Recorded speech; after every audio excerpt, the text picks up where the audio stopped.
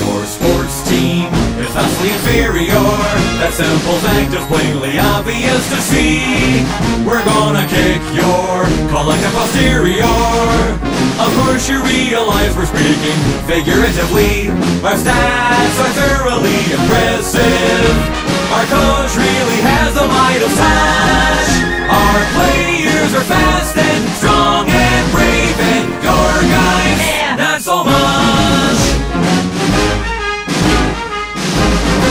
In fact, we played teams across the nation, and you're the worst one we've come across. Try to assimilate that information, and it just might help you cope with your impending loss. Oh, and if somehow we are still failing to effectively articulate the points at hand, allow us now to summarize them in a manner that your feeble brains can understand.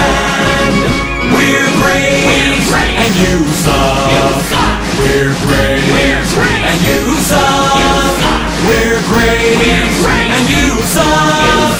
You see, there's us, and then there's you. You suck. We're really, really great.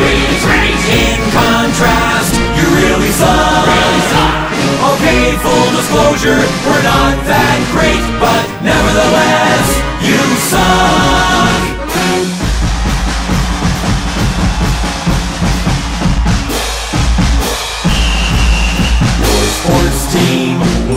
swift defeat. That theory's backed up by empirical evidence.